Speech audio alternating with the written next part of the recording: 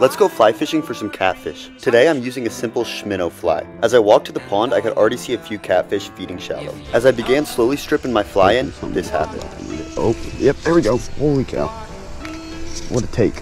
This fish immediately started pulling drag and taking me for a ride all over the pond. But after a long fun fight, I was finally able to net him. And I was rewarded with this beautiful channel cat. The full video is linked in the comments, so go check it out.